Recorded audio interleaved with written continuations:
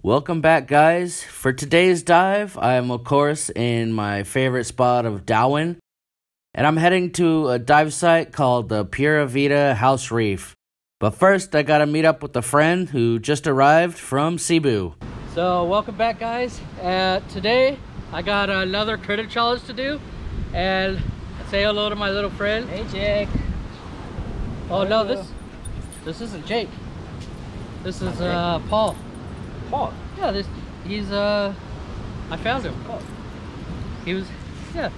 I found him over there. oh okay. Uh isn't that right? No, don't look away, look away. Hmm? Critter Hunter. Okay, it's Jake. Yes, it's my dog. It's Finn Snow. He's We're here. here. We're in town. Finally here. And I can challenge him face to face to the critter challenge. I don't know what we're gonna find, but dude, you finally you finally arrived. Well, it's been a dream of mine to come to Dauin and see all the muck critters, different creatures, because I'm so used to the corals in Cebu. So I wanted to change the typography. Is that the word? Yeah. Yeah. See a different type of diving. So I'm very excited to do my first dives here in Dauin. So man, I got something to show you. It's basically a uh, critter bucket list. So let's go check that out. Okay, so we've actually been speaking a lot, me and Justin, before I arrived here. We've been chatting on Instagram for probably over a year now, or yeah, pre-COVID, I think. Actually, it's been a while. I think you were locked down in COVID and you started seeing my videos. You're like, dude, I gotta do that. I gotta come over, and we're just—I'm right there. We can look at Cebu. Negros is here, and we couldn't even make it over. But yeah, seriously, it was so strict to come here. Not necessarily to go there, but it was so strict to come here until now. He finally made it. He's like, screw it, I'm going, and he he made it. So if you go, if you're thinking about coming here, it's it's possible. So yeah, the, the procedure is very easy. You can go to Cebu without any documents, but coming to Dauin, you need COVID test and medical health certificate and a booking to be able to come here.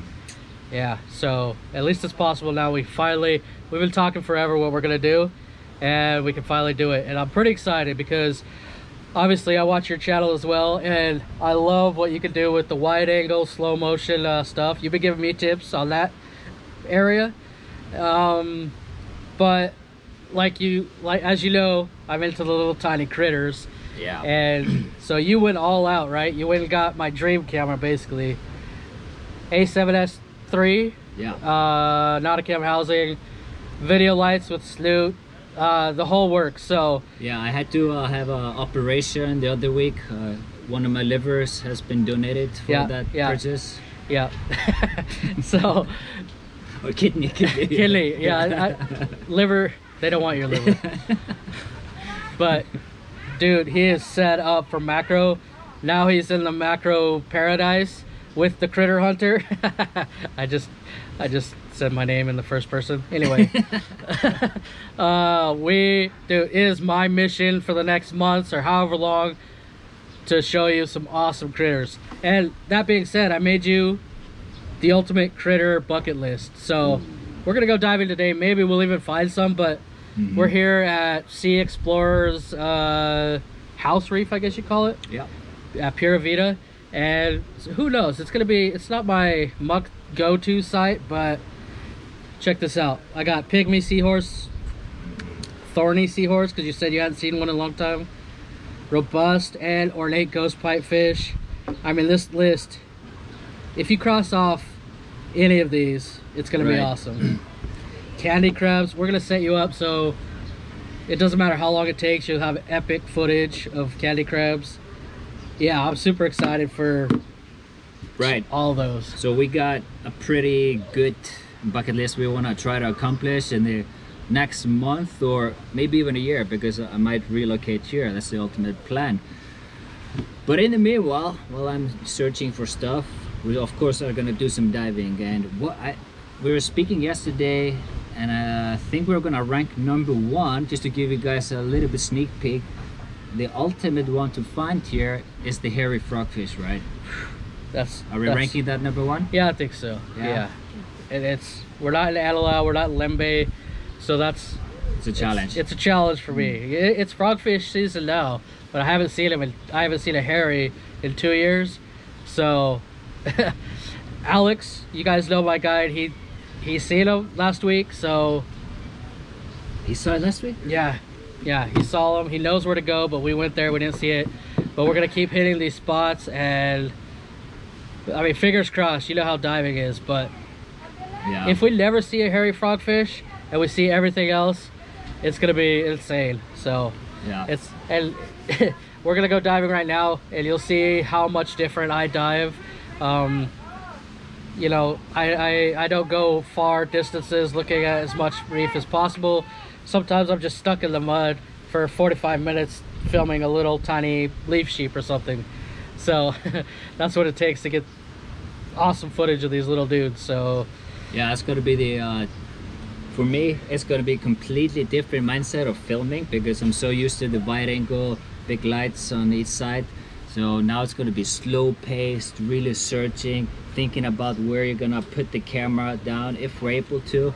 Usually it is because it's muck dive, right? hopefully, So it's going to be different mindset, different angles, and uh, I think probably a lot more challenging type of filming. So I'm very excited for that because It is, I, I always think- like challenges. Yeah, but I think you're you're the guy for it. I've I mean I all your other videos you've mastered even the diving, the wide angle, slow motion. You made that trash, picking up trash look good in that one video.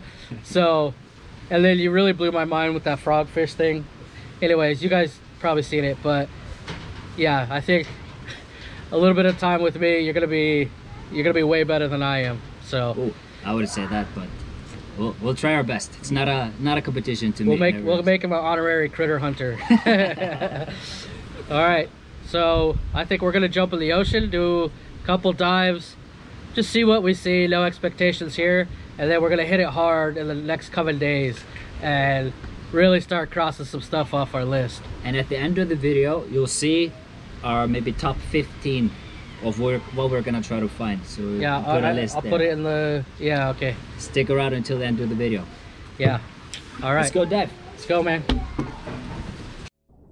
So, on our first dive together, I want to give Finn a little intro to muck diving. Because muck diving is a critter's paradise, and it's where I film 100% of all the cool critters on this channel. There's no big, beautiful reefs where I go, just the sand and the mud and the awesome species. Here you can see Finn filming an, anemone out in the middle of the sand, but what he's really filming is this little porcelain crab. So, of course, I had to go film it after him just to see what he's seeing, and this is what it looks like.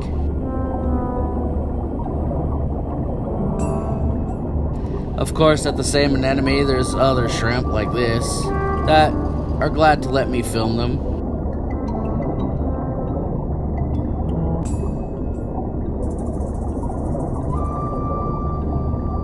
Also, on another anemone was a rock with a bunch of little eggs. And you guys know I like to film little Nemo eggs. These guys look like they're about to hatch. I really like the green moss or seagrass, whatever that stuff is around these eggs. It really made the video pop with these cool little colors. And of course, you can see their eyes inside the egg. They're obviously about done and ready to hatch. We found this weird spider, and apparently it's just called a sea spider. It looks like a normal household spider to me. I don't know if Finn got footage or not, but mine's not great. Later on in the dive, we come to some artificial reef, which has tons of fish. Not really a muck diving site, but tons of beautiful fish nonetheless, including these lovebirds.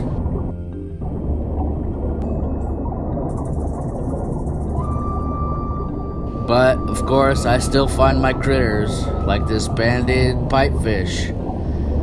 He was inside a little hollow, kind of a cave in the rocks. And these guys are quite common, but I wanted to see if he had eggs. Now, with my new camera and macro capabilities, I'm pretty fascinated with finding little tiny fish eggs.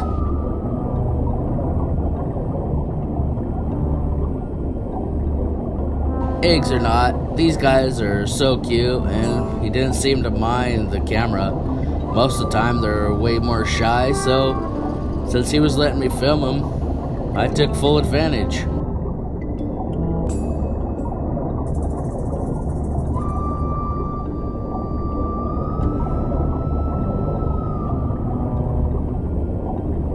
But if you look closely, this male has a bunch of eggs attached to his underneath, right on his belly. I'm working my way closer and closer, hoping he'll let me film those eggs, because I've never got a shot of those. And let me tell you, they're tiny.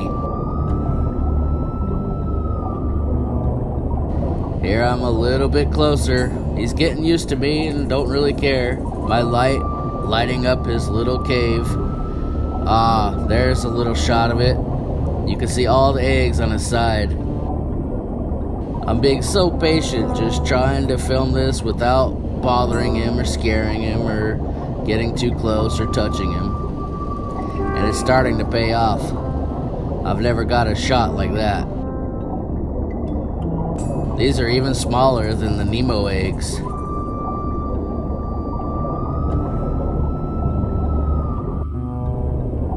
Look at that. When I put it in slow motion and I got a clip of him swimming a little bit vertical, I got a shot of his eggs on the underside of his belly.